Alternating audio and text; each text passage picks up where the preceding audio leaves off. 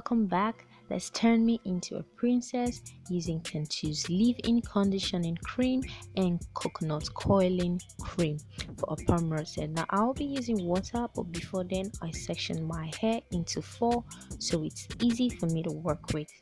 And don't forget we'll be needing some perm i started by spraying water to my hair because it was dry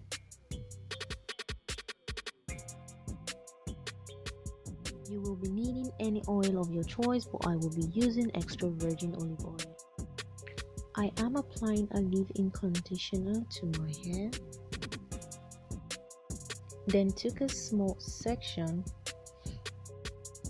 applied the coconut coiling cream and gently massaged it into my strands.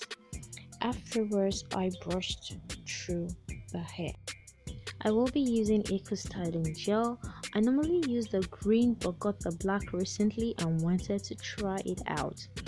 I the olive oil and followed up with the gel. Use the fine tooth comb to make sure it is tangle free. Afterwards, I got my perm rod and rolled my hair from the ends to the roots, rather to the roots, from the roots to the end. Pardon.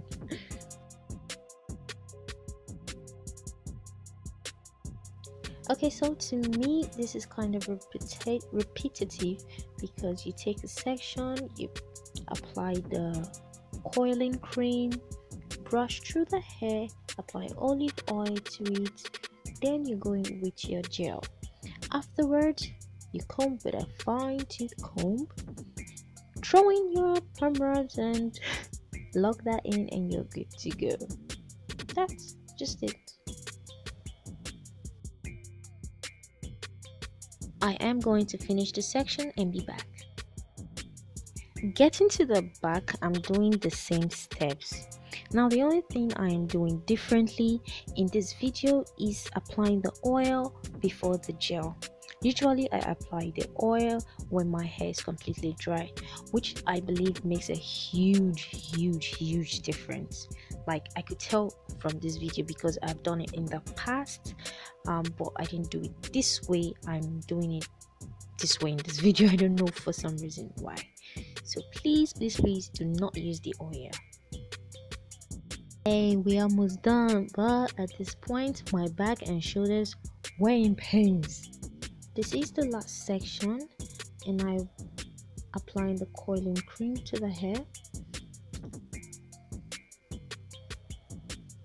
Brushing it through to detangle. Applying the olive oil which I advise against. And then my gel. You can see I'm happy because we're almost done.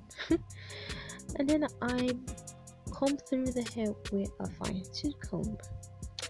Throwing my rollers rather my perm rods lock it in and we're done people. We are done you can see my hands all looking mm. yeah that's me. I'm back and about to take this out.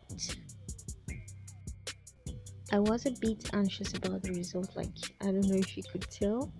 I just wanted to see the end.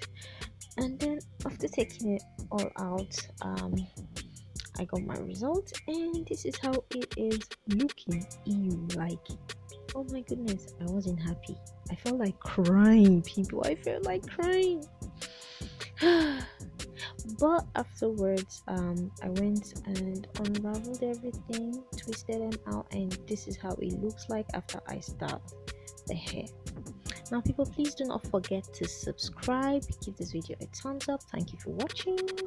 See you next time